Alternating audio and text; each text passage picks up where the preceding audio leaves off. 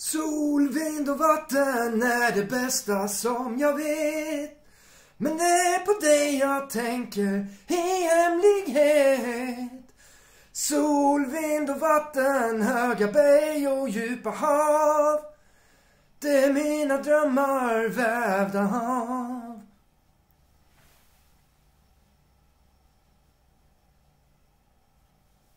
So, I have a little recommendation.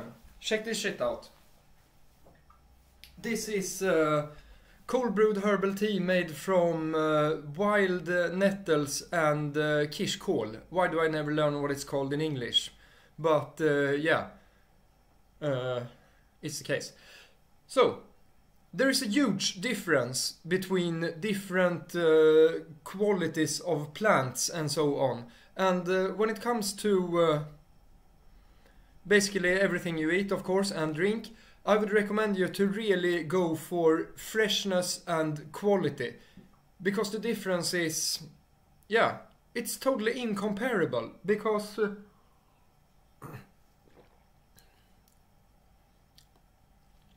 yeah, you can really feel it. If I buy stinging nettles and make a cold brewed herbal tea, it looks nothing like this. And it tastes nothing like this either, so.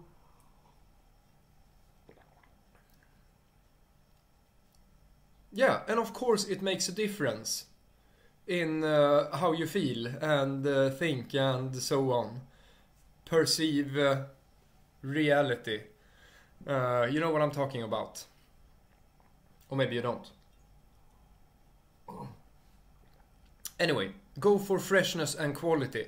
And uh, as always, a little scenario of transition might uh, be something to uh, aim for because I know that it's hard for uh, people, most people, unless you are some really extreme autism all in person. Uh, but if you're not like that, it's gonna be hard to just flip over from one day to another. So, so um, start bringing in more of the good stuff, more of the freshness, more of the quality, and uh, so on. And uh, of course, you will feel the change. I recommend it.